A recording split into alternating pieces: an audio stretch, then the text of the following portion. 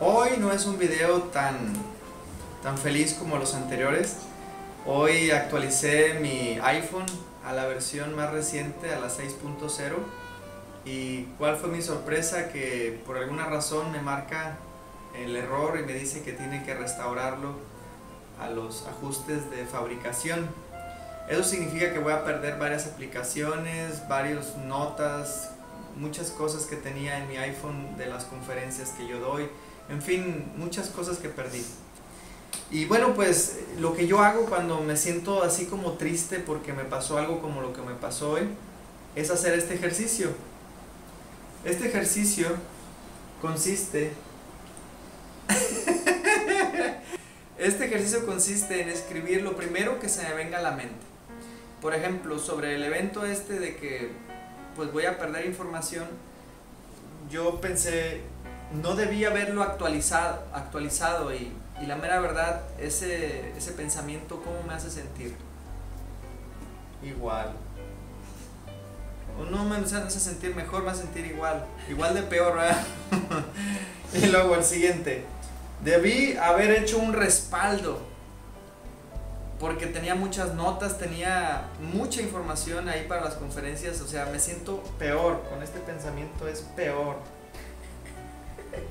Y el siguiente pensamiento que me vino fue, el desapego es bueno, pasar por esa etapa, tristeza, negación, negociación, y luego por último llega la aceptación.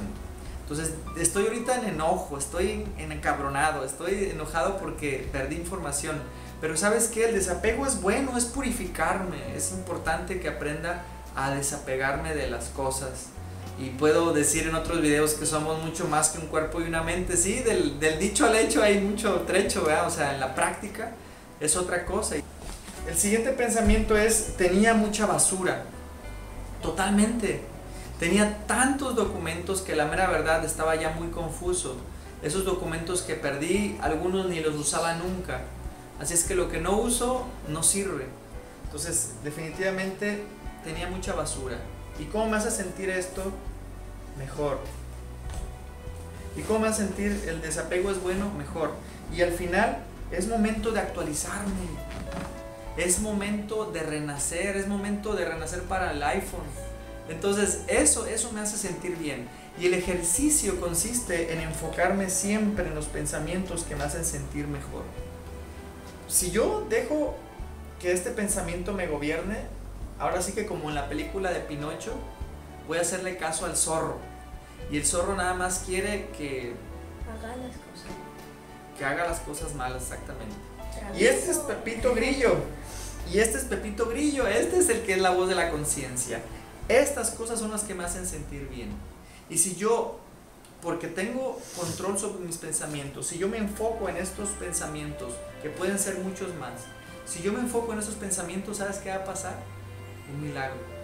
Un milagro porque cambiando mi percepción, cambiando mi actitud, cambiando mis emociones y mis pensamientos, las acciones y los resultados que voy a obtener son distintos. Entonces me dio gusto que me pasara esto del iPhone porque me dio oportunidad de compartirte el ejercicio ahora sí más práctico. Hasta aquí el video. Recuerda seguir a Yamilet Martínez en el Club de la Mujer Feliz y en yamiletmartinez.com.